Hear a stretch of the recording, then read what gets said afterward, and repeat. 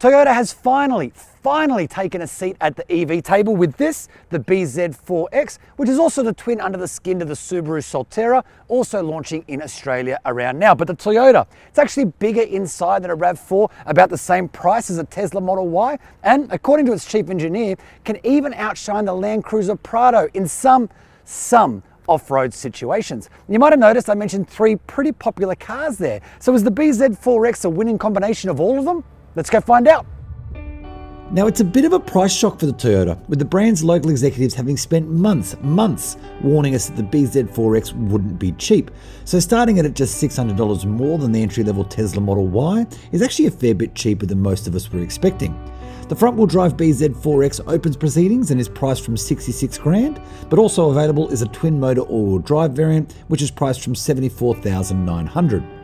Alternatively, the BZ4X is being offered with a three year full service lease, which is offered through Toyota's finance arm. It includes scheduled servicing, repairs, tyres, roadside assist, rego, and insurance. But interestingly, Toyota retains full ownership of the vehicle, and at the end of the agreed period, the owner can either hand it back, lease it again, or jump into another Toyota.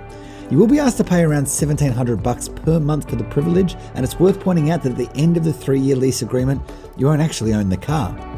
Anyway, the front wheel drive BZ4X gets LED headlights, 20 inch alloys, heated side mirrors, a powered tailgate, and privacy glass on all rear windows.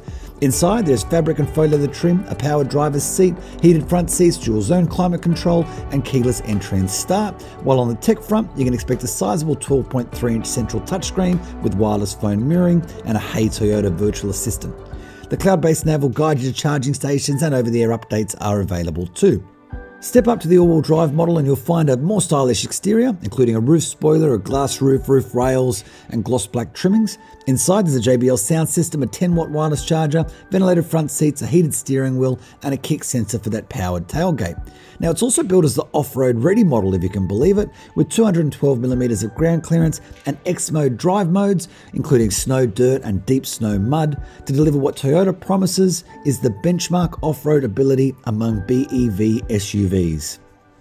So first things first, the BZ4X looks like a car and not like a spaceship, which in my opinion is always a good thing. And given really the only thing that's going to differentiate this from the Subaru is its design, it's probably important that Toyota gets it right. Now, both models ride on these 20 inch alloys, but this is the all wheel drive version, which means it gets a slightly fancier exterior treatment with a glass roof, these roof rails, and some gloss black highlights. Now, there are a couple of quirks though, and one of them is the fact that these kind of constant color changes make it feel a little bit like a jigsaw puzzle that's been pieced together. And there's this strip across the bonnet here, which in this all-wheel drive version is gloss black, but in the front-wheel drive version is more of a matte gray and can look a little ordinary. Step inside the BZ4X and that car-like familiarity continues with Toyota going for a far more traditional car layout, unlike the Tesla Model Y, with a screen in front of you that has your speed, driving range, battery state, and all those kinds of things. Now in the center, the big touchscreen has smartphone mirroring, of course, and it works a treat, but there's also physical buttons for core functions, which I always appreciate. And I do love some of the cabin materials, especially this fabric wrapped dash, which is pretty cool. That said though, I'm not as convinced by the tunnel vision view of this screen which can get blocked by the steering wheel. Also, there's no glove box. Instead, your owner's manuals and those kind of things have to live under here.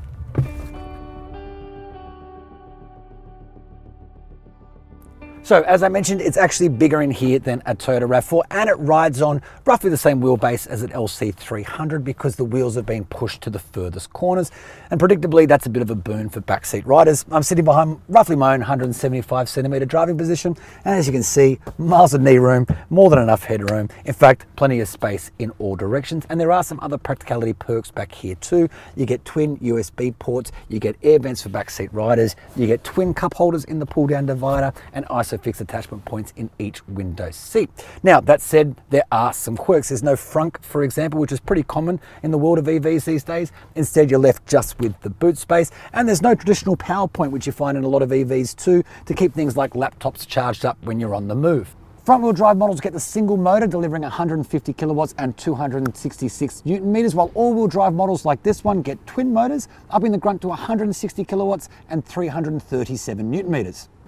Both BZ4X models are fitted with a 71.4 kilowatt hour lithium ion battery and both will deliver in excess of 400 kilometers in driving range on the WLTP cycle. But of course, the dual motors range is a little bit lower than the single motors range, which is often the case in the world of EVs. Now, when it comes time to recharge, it's set up for 150 kilowatt DC fast charging, while AC charging caps out at 11 kilowatts. Welcome to the driver's seat of the BZ4X and specifically the all-wheel drive twin motor variant. But I actually want to start this by talking about the front wheel drive variant, the single motor, which I actually think might be the pick of the bunch based both on value and performance. Sure, it's not as powerful as this, but take my word for it, it still feels plenty perky. There's more than enough power on offer. And in fact, we took it this morning on some really nice twisting roads outside of Canberra and it handled it all beautifully. There was plenty of punch out of corners. There were really no complaints at all really the selling point of this all-wheel drive isn't so much its on-road performance, but its off-road performance. Toyota has fitted it with what it calls its X mode, which is kind of like a, a series of off-road settings for this car, including like deep mud, snow, and all that kind of thing. And as I mentioned in the introduction, the chief engineer actually says that in some off-road conditions, this is actually a better option than the Land Cruiser Prado. But of course, not all off-road conditions, as that is a proper off-road focused four-wheel drive. And to be fair to Toyota, we did take this off-road yesterday. Nothing too challenging, but certainly up some fairly steep, rocky inclines, places you wouldn't see that many other EVs, and it certainly handled it all really, really well. But I was kind of left with the question of who's really going to take this vehicle too far off-road. I just can't get into the mindset of the buyer who's buying a Toyota EV to go and do something like that. So with all of that in mind, I reckon you're better off sticking with the front-wheel drive version, which is cheaper but still plenty perky on the road. Now, speaking of on road characteristics, there are a couple of drawbacks with this vehicle. One is the fact that the ride is probably a little bit too firm in the city and on broken road surfaces at slow speed, it just feels a little bit jarring. The flip side of that is that it really comes into its own on twisting roads, with the BZ4X feeling far more dynamic than I expected it to on the really twisty stuff. It's quite a lot of fun, and the tyres kind of give up long before the car does. But again, I'm trying to get into the mindset of someone who might buy this car and surely city comfort is more important than flowing road speed, right? And the other slight negative is that on perfectly smooth roads, this thing sounds fantastic in the fact that it sounds like nothing at all. But when you get on the coarse to chip stuff that can be pretty common in Australia, there is a fair bit of tyre noise in the cabin, made a little bit more obvious by the fact that there's no engine or exhaust note, of course. But to be totally honest with you, those are fairly minor quibbles, and I've been pretty impressed with the BZ4X right across the board. More impressed than I probably expected to be, to be perfectly honest with you. And I think that's because Toyota was dragging its feet on EVs for so long. It really kind of felt like they never wanted to do it, almost like they were being forced into it. So I wasn't sure what to expect from their first offering, but this one's handled it all pretty well. There are definitely ways the Model Y has this beat things like driving range, practicality, some of the EV specific tech, but equally there are definitely ways that the BZ4X has the Tesla beat, in my opinion. One of them is design. I prefer to look at this car than I do the Model Y, but also I'd prefer to drive this one around twisty corners than I would the Model Y too. And I must admit, I like the familiarity of the cabin experience, although I appreciate that is a very personal thing, and there are plenty of Tesla owners who love the way that cabin is set up.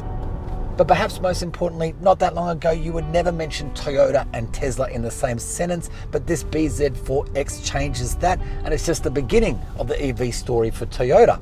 And that's a good thing too, because they're late to the party and there is ground to make up. So let's see what the Japanese giant can do.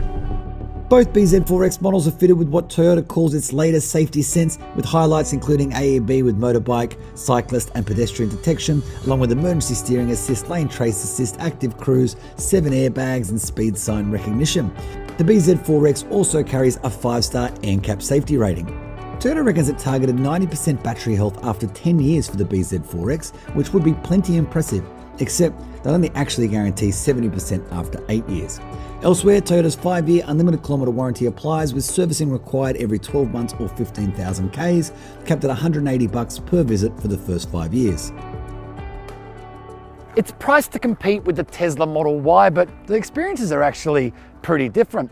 One's futuristic, the other far more familiar. And if I'm being honest, there are definitely ways in which I like this Toyota more. It might be the brand's first EV, but it does paint a pretty rosy picture of its electrified future. You've only to get a wriggle on and start making a few more of them.